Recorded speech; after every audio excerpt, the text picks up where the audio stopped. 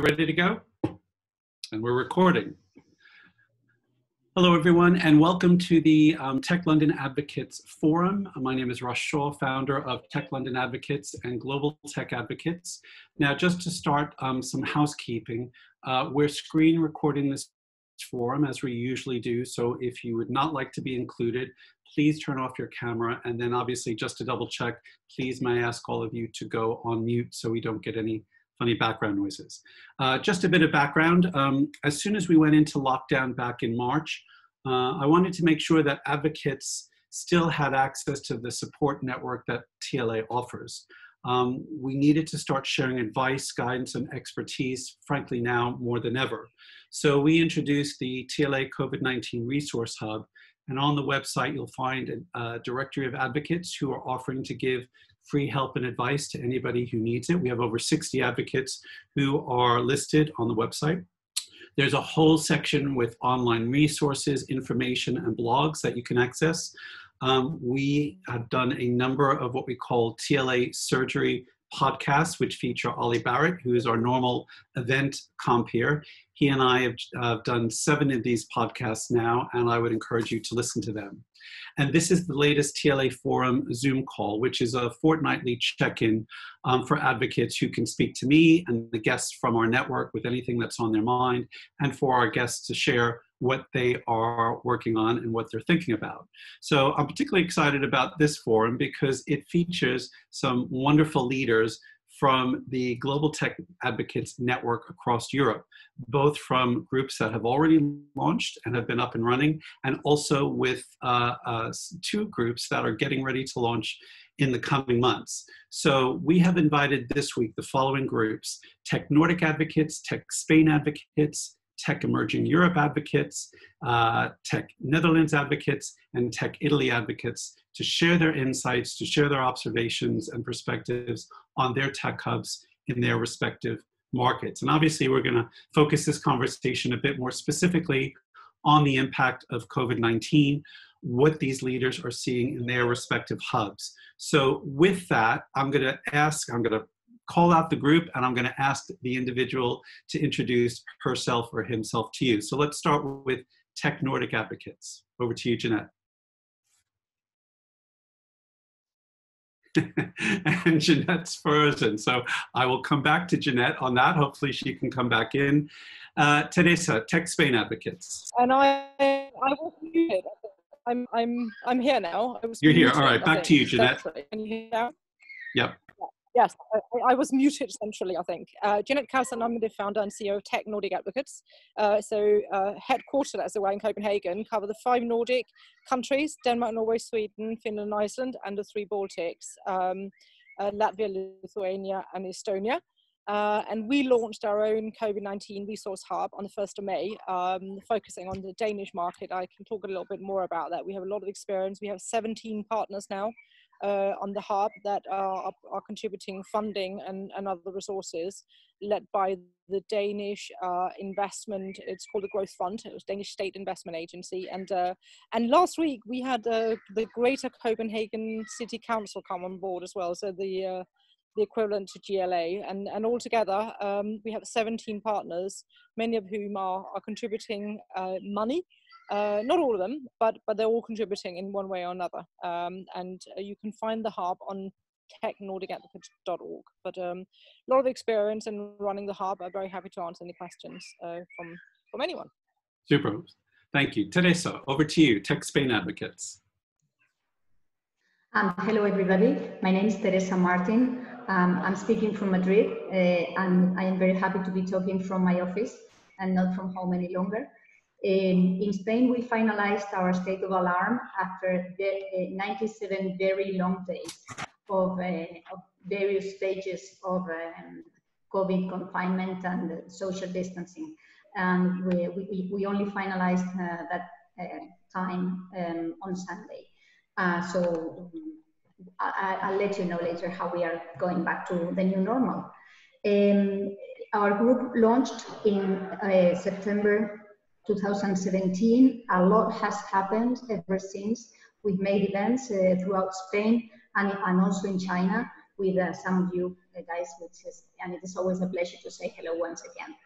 Um, I am a member of uh, the COVID task force uh, of volunteers, um, and uh, um, as I said, I, I, am a lawyer, and these are these have been really, really very busy times for lawyers. We have worked uh, non-stop, uh, so we deserve a, a holiday. But uh, the industry of tourism, which is something we can discuss later, is struggling to get out of the old situation and come into the new one. Uh, so anything you need from Spain, just say hello. Thank you. Thank you, Teresa. And let's go on to Italy to Enrico and Anders. Welcome. Hey guys, uh, thank you Russ. This is Enrico Noseda. I founded uh, Tech Italy Advocates together with Anders, who is also on the call. A couple of years ago, we operate out of Milan um, Tech Italy Advocates is actually run in partnership with uh, Cariplo Factory, which is the largest innovation hub in Italy. Um, basically, uh, the hub supports uh, corporates in their innovation journey and startups in their growth uh, journey. We organize events uh, for Tech Italy Advocates and uh, host the events within, within our space in Milan. Um, like Teresa said, if you ever uh, come visit Milan, you're more than welcome to knock on our doors. Thank you, Enrico. That's great. Now I want to move on. We've got two new groups in formation stage, uh, launching, uh, we hope, later this year. So um, Esther, let me turn over to you for Tech Netherlands Advocates. Nice to see you. Yeah, hi everybody. Um, so I was due, we were, we were due to launch uh, us um, Tech Netherlands Advocates um, oh, this week. I know, I know. um, but uh, but we've decided it would be pragmatic to defer, um, and actually helpfully, um, I have to apologise. There's a light that goes on and off in this office. Um, helpfully, uh, Rotterdam um, have their Upstream Festival, which is the 21st to 27th of September, um, and we're very happy to to have us uh, do our actual launch at that point. unfortunately, Russ, well, not unfortunately for Russ, because he's on holiday for his wedding anniversary, but it means he won't be with us mm-hmm. um, in spirit though. Uh, but yeah, we're going to go. Um, going to go live in September. In terms of the landscape here, it's interesting. It's you know it's the Netherlands, isn't it? So it's quite chilled, I think, compared to um, some of the other places uh, with things like COVID. Certainly been a huge amount of um, support uh, from government and things are obviously starting to open up again. I'm sat in the co-working space um, here.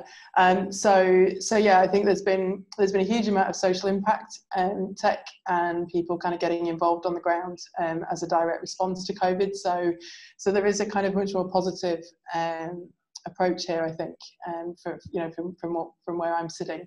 Um, big network that already exists in the country. Um, for tech. Um, but I think um, the purpose of, of, wanting to set up an advocate group here um, was to kind of uh, have more of a sort of a global um, connection um, with the other um, advocate groups uh, worldwide. So that was the that was the driver behind it. There's not a huge amount that the Netherlands needs. You know, it's very very well you know supported, uh, funded, um, but certainly um, attracting uh, foreign investment and startups, uh, scale ups who want to either relocate to the Netherlands or um, collaborate. You know, between uh, between countries. That's kind of going to be our focus. Uh, going forwards and hopefully a bit of fun as well once all these restrictions are lifted.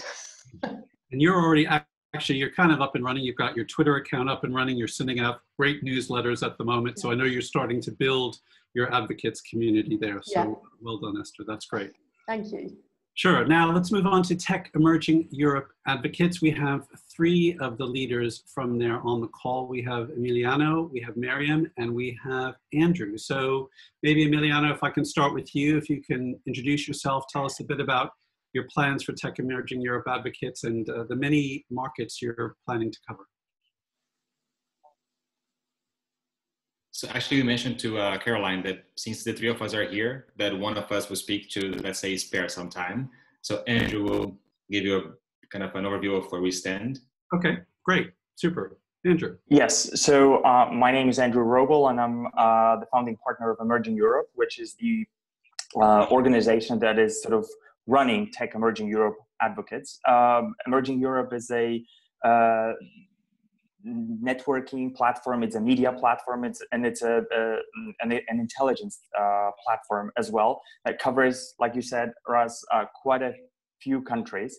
So uh, normally it's about 20. It's over 20 countries. In this case, in the case of um, Tech Emerging uh, Europe Advocates, it's 25 countries stretching all the way from Slovenia to uh, you know the Central Asia actually. Uh, so so that's quite a, a quite a hmm. market. Uh, we are planning to officially launch Tech Emerging Europe Advocates later this year in November. Uh, we're now getting ready with uh, with everything, uh, and of course, if you are interested in um, uh, anything related to Central and Eastern Europe, we're always ready to help. Like Russ said, we have I have two more colleagues here, Mariam and Emiliano, and we're always, like I said, ready to help. That's great, thank you. And I have the 24th of November in my diary for the launch event in Prague. So I'm hoping we'll be relatively back to normal by then. So I look forward to uh, getting you guys up and running and launching at that point in time. Yes, it's the 24th of, of November that we're planning to launch the, yes. um, the initiative. Super, thank you. Right, let me start uh, with some questions on my side, and then I know we've probably got a, a few questions from people who are, are on the Zoom call. Um, first off, uh, I wanted to just get a sense of what the lockdown experience has been like, and, and where are you now? And actually, Enrico and Anders, I'm going to start with you because you know my sense is that Italy was the very first to go into lockdown. Um, the Lombardia region was hit very, very hard. Um, what happened? Where are you now? Are you optimistic about things improving going forward?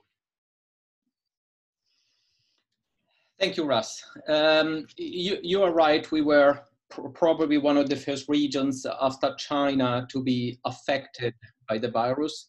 We responded quite rapidly. Um, as you know, we've been uh, probably the first country outside of China to uh, move into an extreme uh, lockdown um, which basically meant uh, we uh, couldn't leave our homes uh, except for very specific reasons and with a written self-certification that states where you are going from where and what was the reason of your of your travel and in any case, um, the list of reasons uh, uh, for which you were allowed to travel were very, very few, like um, um, for health uh, emergencies and a few others.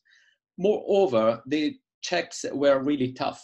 Like literally, if you left your home after 300 meters of walking, you would have been stopped by the police who asked you for the reason why you were out of your home.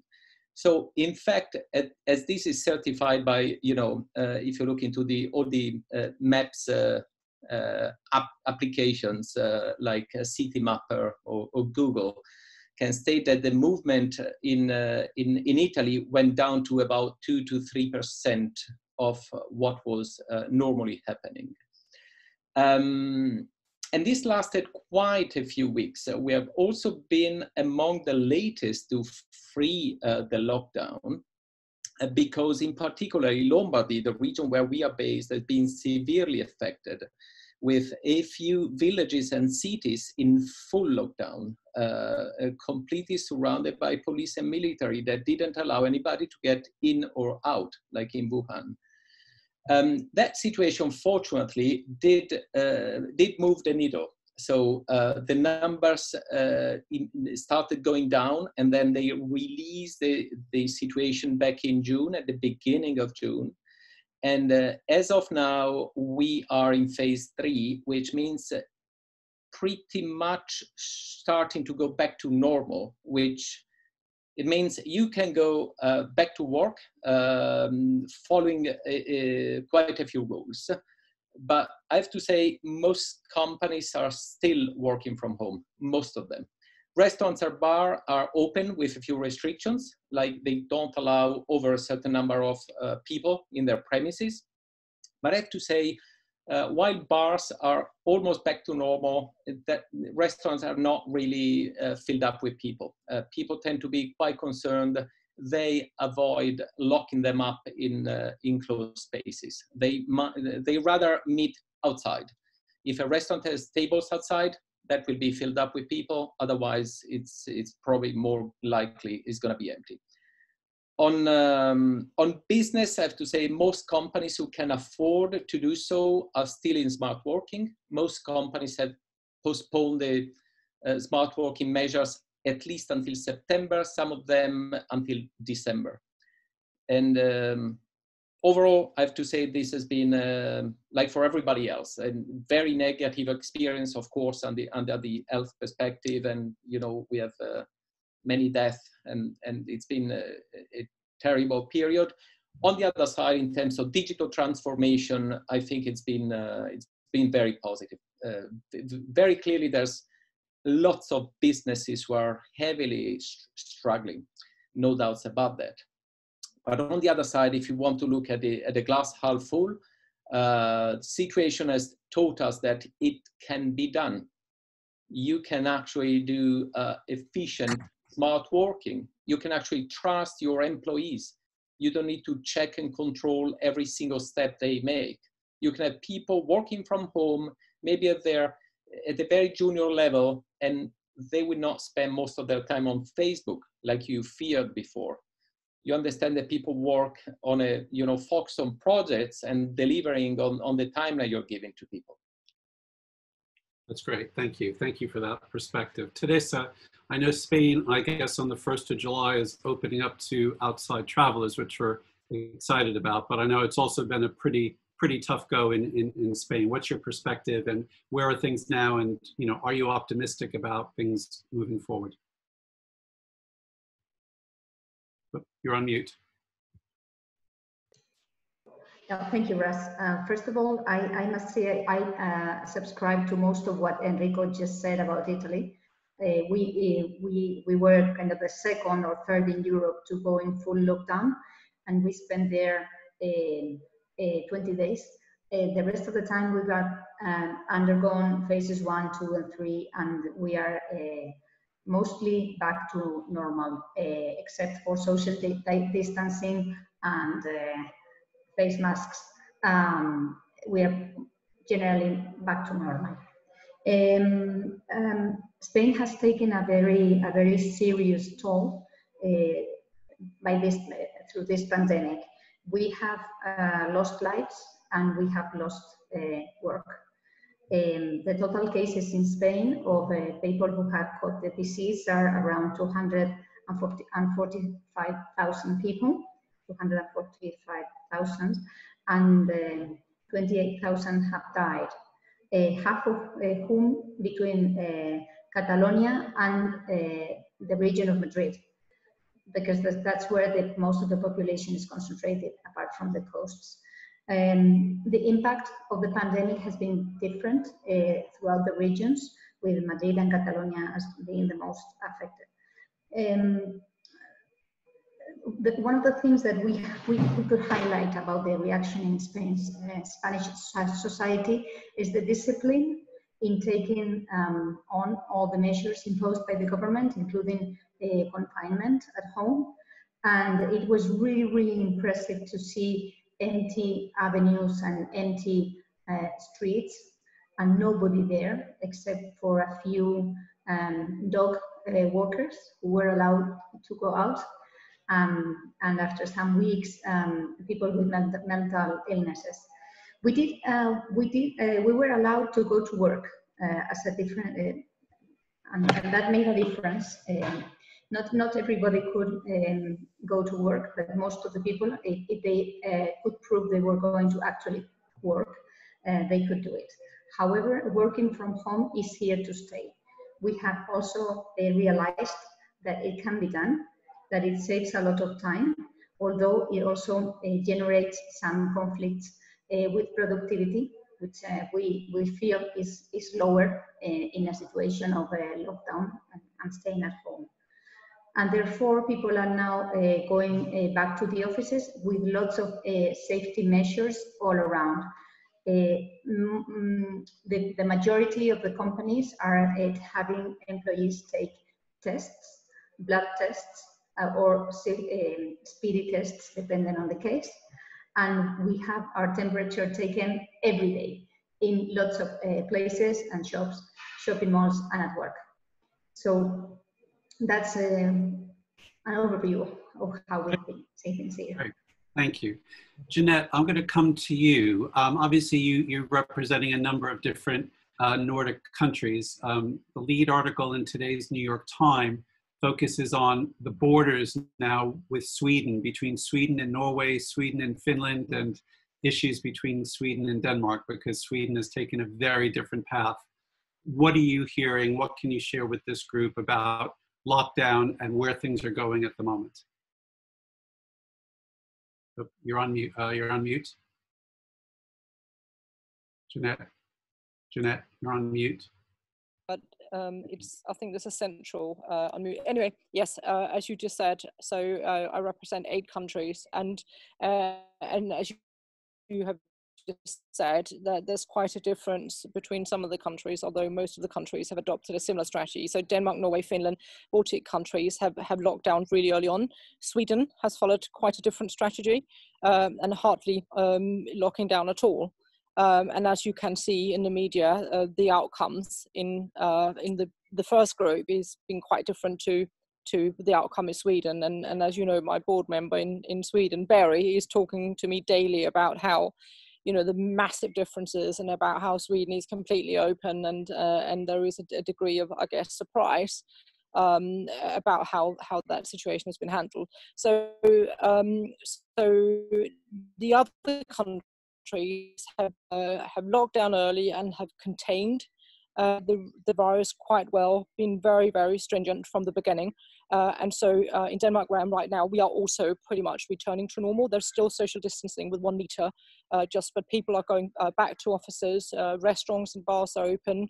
Um, there's hand sanitizers available and, and, and so on. And that's largely the situation in uh, in Finland. So I spoke to the other countries yesterday, so same in Finland, same in Norway, and, and so on. Uh, and so starting to get back to normal. Um, the, the, the, the, the key issue is around is around borders opening. So Denmark's been quite strict about um, closing borders. So borders are opening to um, to most countries now the end of June, but still Sweden is kept out um, of, of Denmark and some of the other Nordic countries. So you can imagine some of the problems that's causing. Um, but but um, you know, so from a death toll perspective, the impact has been um, a lot less in in this region. Um, than in, in other regions proportion to size, uh, just because it's it's been the measures have, have been quite quite strict, and people have adhered to him quite well. I, I, would have, I would have thought. I guess it's part of the culture that we kind of do what we're told in the Nordics. It's sort of fairly controlled, regulated society, so so people tend to do what, what they're told. Um, so so now it's all about rebuilding, isn't it? And and in same as the other countries, from a business perspective, startups have been particularly badly affected. We persuaded the Danish government early on that that you know creating this one-stop shop hub with support, just like the TLA one, was the right thing to do, and we have certainly got a huge amount of credit for that. Um, right. Danish Growth Fund came to us and said it's just so well spotted that you guys saw that we need this um, a platform that can bring all the resources under under one hat.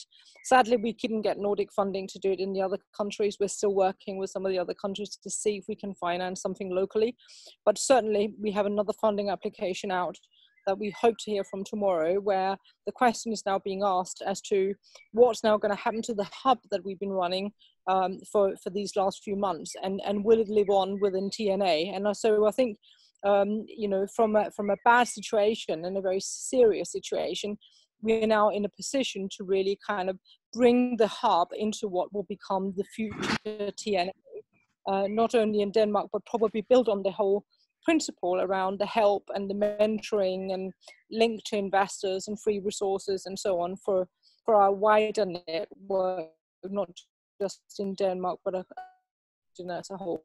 I think with the exception of Sweden, which is, you know, quite a different situation, we are we're definitely on track um, here to to to recover to normal like. Great, thank you. Esther, give us a picture of the Netherlands in terms of lockdown, where you are, are you optimistic about things improving in the near term? Yes, I apologise because I kind of said it all at the start, didn't I? Um,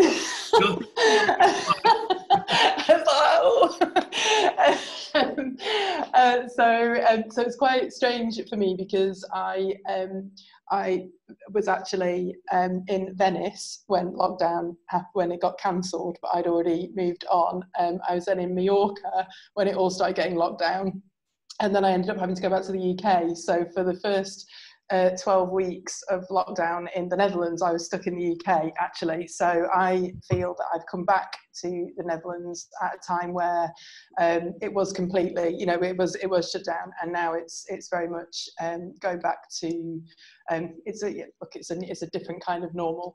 Um, I think the the way that we've sort of communicated with um, our advocate group is making them aware of the resources um, that are out there. We didn't set up a hub obviously because we're um, we're, just you know kind of brand new, but I wanted to at least make sure that we were keeping people informed about the support that was available.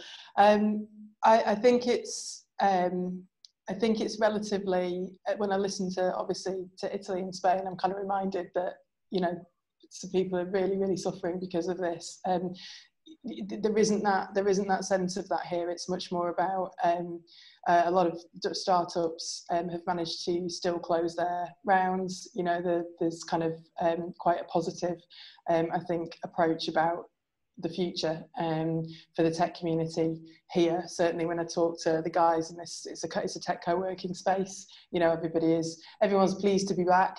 Um, you know, everyone's kind of happy, even though we're having to keep a you know a bit of a distance uh, compared to compared to normal. So so I think generally um, generally a positive vibe. Um, a few amusing things, um, if we're allowed to, is um, obviously coffee shops got closed and were re- immediately reopened two days later. um, due to a, a significant uh, public uh, upheaval, and, uh, and then at the moment, the biggest challenge at the moment is um, gyms and personal trainers. Uh, there's due to be an announcement today about whether they're reopening. I don't know if it's happened. And also, sex workers are lobbying quite hard uh, to get back to work. So those are the two industries that are still still not functioning as uh, as normal. But yeah. thank you. Thank you. And, and to the folks at Emerging Europe, um, I'm not sure, Andrew, if you're going to pick up or if somebody else is, but obviously you're covering markets. Maybe give us the spectrum of, you know, who's really locked down, who's adopted the Sweden model. Um, are countries kind of emerging from this? What, what's the take across? So I, I can I can say that uh, our region um, looked at uh, the virus, uh, you know, quite seriously from the very beginning, and um, most of the countries went into lockdown right away uh, and are now reopening. And some some of the countries are already opened. You know the number of cases is is going significantly down. There are a number of countries where uh, that hasn't you know happened yet, like Poland, for example. Uh, the number of cases in Poland, even though the country went into lockdown quite early on, is still quite high, uh, around three, four hundred cases, new cases a day. Uh, Belarus, which uh, was sort of trying to say that you know there is no coronavirus there is going through a serious situation as well. Um, also in countries further east, like uh, you know Central Asia, uh, that some of the countries are still uh, suffering. Other than that, uh, you know, airlines start operate have started operating already. Sometimes within countries like in Poland, at the beginning from the first of July, it's actually going to happen, uh, you know, pretty much across the the, the region. Uh, so I think the situation is, uh, you know, shopping malls, uh, barbers, restaurants. These are mainly open already uh, across the region. Um, I think we're we're going back to normal actually. Uh, we're operating out of London, of course, as Emerging Europe. But we have people across the, the ground and uh, I mean across the region. So we hear from them that it's it's actually getting better and better. Uh, but Andrew, if I may add here, it's also good that uh, our region had kind of a window to adapt and see what's happening elsewhere. Yeah, we were able to go into lockdown earlier and control things from the beginning, which Italy and Spain didn't have. Uh, yeah, the, in, in the end, we had countries like Slovenia and Montenegro basically being COVID free now. They were one of the first countries in Europe to be rid of it. So that it was a combination of going to strict lockdown and having this time to learn from others. Yes. Yeah, because the first cases were actually reg- uh, uh, registered way later than they were, for example, in Italy or Spain or or in other places. Okay, very helpful. Thank you. Thank you all of you for painting that picture. Now I, I wanted to just move on and, and talk more specifically about tech, the tech sector, kind of the state of startups, scale-ups, the level of investment. What are you seeing? Esther, you touched on this a little bit um, in terms of, you know, money is still flowing in. Is it, is it an optimistic picture? Um, are, you, are, are a lot of startups running out of cash? Actually, Jeanette, I'm going to go to you um, first, um, just with, with, respect to building on the, the COVID-19 resource hub. You've probably had a lot of visibility. what's it like there? How are startups uh, doing? What's the investment level like in, in, in some of the Nordics? Yeah, I mean, I, I, think by far the, the biggest problem we, we've come across is, uh, is access to investment. Okay. So um, a lot of investors have pulled out. A lot of investors have delayed their investments and so on. So it's all about having run rate, right? Um, and so a lot of startups were, you know, you know, put in a very very difficult situation in terms of actual survival just because they they lost cash. Yeah, so that's really important. The other thing that has actually really surprised us in some ways is actually the extent to which um, startups have suffered badly from uh, lack of access to international markets.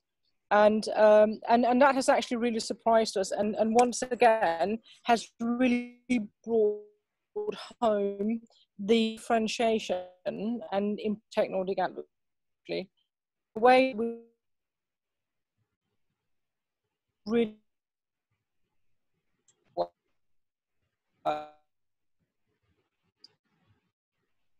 Jeanette, we're struggling with your connection a little bit. Um, really, uh, so, hey, we launch in Germany, we were about to launch in Holland, North America, and okay, yes, uh, I am actually outside. So, can you hear me a bit better now? A little bit better, yeah. Um,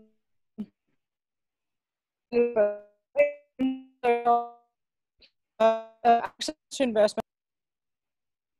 She's dropped. All right, Esther, can I come over to you? I know you started to talk about the scene there. Sounds like you're optimistic that money is flowing into the startup ecosystem, etc. What do you see? Yeah, so there's um, there's obviously the, the government support, including the, the Bridge Fund, um, and also spoke, speaking to uh, investors um, directly about kind of the you know how they're how they're viewing it. Um, some of the, uh, the there's like Apple there's venture capitalists who are kind of angel investors who are all together and they're basically going 50% are holding back and 50% are investing as normal or actually increasing their investment. They see it as a good time to buy because they can buy cheap. Um, so so so it's a, it's a it's a mixed um, a mixed picture. One of the other um, the other things that there's a lot of um, like next week on the 30th um, there's a investors you know can meet startups you know the, there's there is quite a lot of uh, bringing uh, startups and investors together even you know despite the the kind of lockdown and everything doing a lot of stuff online um, and one of the things we were saying actually is the number of startups who are applying um, for funding has actually reduced a bit and that's causing a problem because there is money um, that needs to be spent. It's time limited, um, and actually there's so there is a there's a bit of mismatch going on on both sides. Um, is the kind of the general um, the general feel of it at the moment. Are there any tech verticals that are doing particularly well, whether it's health tech or fintech or cyber or ed tech? Are you picking up on any of that? Yeah, I mean the Holland FinTech is um, is the is the kind of the main, and they're, they're kind of like a 600 strong network, you know, here. So so FinTech certainly, I think some of the valuations on some of the businesses are being, um, you know, they're going into the kind of you know the kind of the big rounds. They're they're sort of being reduced, um, but I think that's really taking the heat out of slightly overheated market probably. Um, yeah, health tech um, certainly, and a lot of the social and um, uh, clean tech, green tech, um, that that kind of stuff is, which is obviously an area of interest um, for for me, um, and that that's kind of seems to be where uh, there is still, you know, there's still um, good traction. Okay, sounds good. So, Teresa, from your side, uh, are you seeing startups secure funding rounds? And has mm-hmm. the government also stepped in with any type of loans or funds for startups and scale ups? What, what, what are you seeing there? Yeah, yeah, yeah. Let, let me start with the last bit of your question about the government. Uh, indeed, the government has um, allowed um, 100,000 million euros, 100,000 million euros, which is uh, in, in uh, British pounds, 90,500 million in loans which are guaranteed 80% by the government. So, um, and these, these funds are distributed by the banks, not by the state. They are backed by the state, but it is the banks who actually provide the loans, select the, the, the borrowers. Um, the borrowers that have been more benefited by these um, state-backed loans um, are those who already were in debt so uh, startups who had already had access to uh, loans from the banks will more, most surely benefit from these loans, which are very cheap. They have one year. Um, uh, the first year they don't have to pay anything back, either in cash or, or sorry, uh, either interest or principal, and they and they last for five years with an interest rate uh, between 1.75 and 3. So this is really a very good opportunity to be uh, asking for uh, financing from Spanish banks. Also, the state, um, the usual state um backed uh, normal loans, which are given by the authorities directly, such as the Central Center for Development of Technology and other uh, institutions have been working normally. So in that respect, COVID hasn't affected much. Uh, although it is true that civil servants have been working from home and they are now back to, to the office only one day a week, and that slows processes down as well. Um, there are other um, measures approved by the government that the startups can take advantage of, such as the relief of, of social security payments and the, certain tax installments without interest. Uh, that have allowed um, a certain management of the scarce cash that sometimes uh, startups have. And finally, um, the government approved some financial help for lease, for payment of the lease of, of the office or space that, that small companies are using. So there's a kind of a social package that uh, small companies or emerging companies can benefit from Eh, that, that is available and it's just a matter of getting uh, it uh, organized. on the private sector, it is true that the first weeks and months, all, all, all, all of March and April and beginning of May, we saw a dramatic slowdown of M&A transactions in, in, in general in, in, all over the world, I guess, and Spain was no exception but deals are slowly going back to life. To begin with, there are, there are investors whose work it is to actually make investments. And, uh, and to follow, um, as uh, Esther pointed out, there is a, an excess of liquidity that has to go somewhere. So um, we expect to see a rebound in the M&A activity concerning startups and technology sectors, which has proven so essential in this crisis. Yep, that's great. Thank you. Very, very comprehensive answer. Thank you, Teresa. Enrico, uh, how, from the Italian perspective, has the, has the government stepped in to support the startup ecosystem? And what's kind of the private sector funding looking like at the moment? Okay. Can, can you hear me well? Yep. Okay, okay. So let me start saying that the, the good news is that the VC market in Italy is very small. And why, why is this a good news? Because startups are really used to working without funding. It's really hard to find money in Italy. So uh, you need to be really strong in order to raise significant capital here. and that's good news because when you enter into a crisis such as this one, when most VCs are scaling back and you know cutting investments and and so on, startups are kind of used to it. They're kind of ready to survive for a few more months, scaling down, cutting costs. They're very resilient. So I'm, I'm, I'm trying to sell this to you as, as good news, but I'm, I'm seriously thinking that the fact uh, Italian startups are really resilient and, and, and they tend to operate without much funding has helped them a lot. Yeah. Nevertheless, there's no cash in the system. It's, uh, it's re really hard for them to survive. Some of them have been pivoting very quickly. Uh, I have to say this has been a, an, a tremendous opportunity for some of them to, to prove that some business cases are better than others in, in testing and learning very, very quickly. Um, this is, like I said, uh, they twisted a bit focusing on a pragmatic approach um, and maybe focusing their little investment in the in the strongest uh, startup of, of, of, the bunch.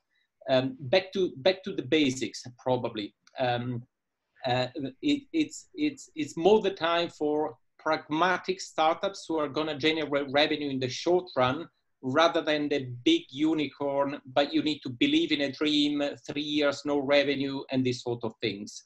So most startups are making that move today, trying to get revenue and get margins in the short run. Fortunately, the government did uh, pull up a few measures. Uh, so there's quite some money um, on the market now.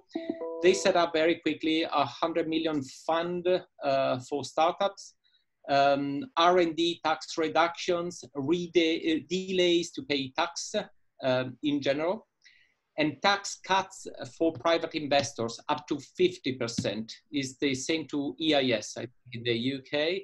And this is now raised from 30 to 40 to 50% uh, tax breaks if you invest in a startup today. Moreover, uh, moreover, the government set up a 200 million fund to support VCs, which is a bit of chicken and egg, because then you need to rely on VCs to be open and float the market with that money. Eventually, that will happen. It hasn't started yet. I would say that all the small deals have been delayed. The big deals that probably started, where the conversation started three months ago, they are going ahead. So there's been a few announcements in the in the last few weeks about big companies acquiring small startups for significant amount of money. But that is certainly something that started probably late late next next year. Okay, thank you.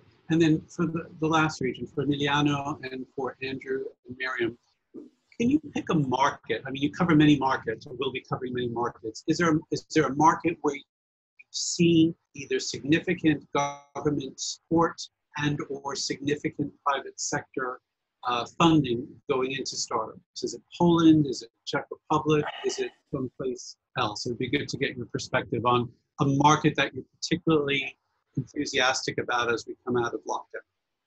Well, I, think we, we need to look at emerging Europe as an emerging market. So, uh, you know, it, it, it, when you have a crisis, and if we look back to 2008 and 2009, uh, countries in emerging Europe or emerging markets in general were the ones that actually suffered the most. Uh, um, and, and, you know, access to financing is actually quite difficult here. Uh, when it comes to um, any of our countries and government support there, Unfortunately, I haven't noticed any specific country that would direct, you know, support for or to startups. Uh, there were plenty of different uh, support programs, but they were addressed to pretty much all companies. So uh, some of these ideas have been mentioned, like you know, tax uh, taxes have been postponed and social contributions and so on and so on but not something specifically um, uh, addressed to startups. I think what is really interesting is, and this is what Enrico uh, said as well, uh, startups in, in Eastern Europe uh, have been used to actually less finance in general. So they have been more resilient and they are able to survive a little bit longer uh, than you know maybe in Western Europe. Uh, but at the same time, there. So you asked me about the market. I think you know the biggest markets uh, are the most interesting ones, and I would definitely mention Poland here. I would uh, I would mention the Czech Republic. I would mention Ukraine as well. That's a huge market. Uh, but there's there's also a few interesting things happening. So for example, tomorrow I'm taking part in a, a PEVC conference that is focused on Central and Eastern Europe. Uh, so, so again, you know, there is interest. There, there are things happening, and also one more thing that is quite optimistic, I would say. It seems that you know there's, you know, talent in in Eastern Europe has been well known for quite some time already, and and it seems that uh, you know, people who were working on different projects, especially related to health, have now somehow emerged and, and said, oh, you know, listen, guys, we are actually working on that. We have a solution here. And very often, these solutions are actually more, uh, well, cheaper, basically. Uh, so they're not relying on, on, on super uh, expensive technologies. Um, yeah, so so that would be pretty much an an overview here. Okay, great. I'm going to ask one more question, but for, for those uh, who are not GTA leads on the call, if you have a question, I might have a minute or two to ask them. So put the question in the chat if you don't mind. Um, and so let's let me just go on and just very quickly ask each of the leads what is what is there one particular lesson that you or your market is learning about the pandemic that going forward you're going to say we're going to do something very different um, today let me start with you. Well when this all started it was a very very difficult time both for for our clients for our network members and for us as entrepreneurs and business people um, ourselves so the two things we, we have learned and uh, after these months is first one is hold on to your values, mission and vision and mission. If yeah. you don't know what to do, just take a take your time and read those again because they will inspire you. And second one is the key importance of liquidity. You need to have access to liquidity. You need to be prepared for bad times, downturns. Very good point. Thank you. Jeanette, I'm going to try you um, on the same question. I know your, your connection's not that stable, but is there a particular lesson learned that you picked up or you're seeing from the Nordics perspective coming out of the pandemic?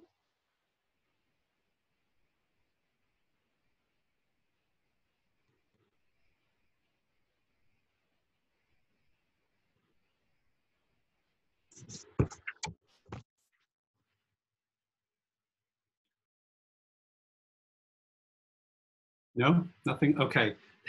let me come back. So Enrico, let me move over to you. So I think a couple of basic learnings. Uh, one for most businesses, I think, is down to the fact that you you can plan to a certain extent. The market changes can be totally unpredictable, and you know from one day to another, you will find yourself in a totally different situation that nobody could have foreseen that is a, a situation where either you move quick or and, and transform yourself or you die and that that I think is the is the is the basic lesson everybody learned. Those who died and those who survived. The second lesson I think I mentioned at the beginning is it can be done.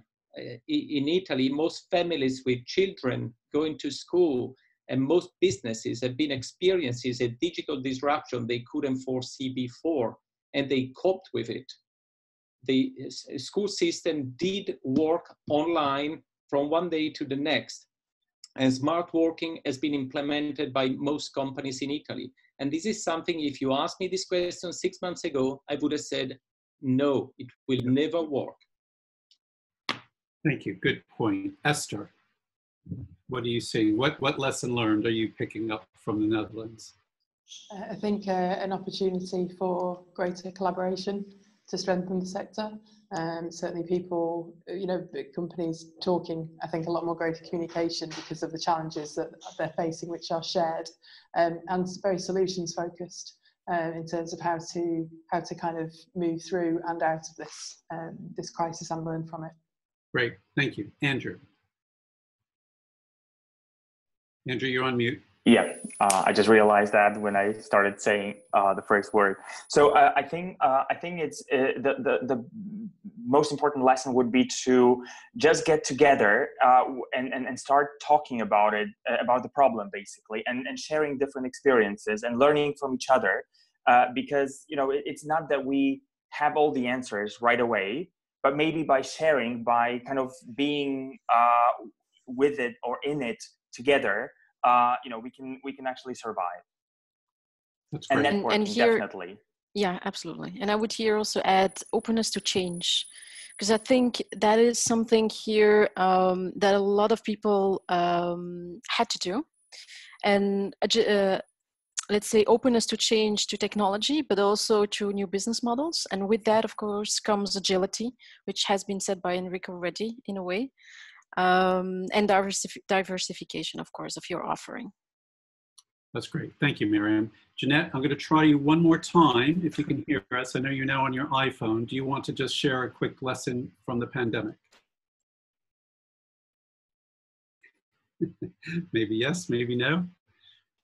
Okay, let me move on. Um, I have a question from Mark Duke. Mark actually runs the Tech London Advocates Creative Tech Working Group, which covers ad tech, martech, brand tech, fashion tech, design tech, music tech, etc. And he would like to know if any of you are coming across any interesting or significant creative tech companies in your respective ecosystems. Anybody want to address that or answer that or say if you've come across something, someone? Esther, anyone in the Netherlands that comes to mind?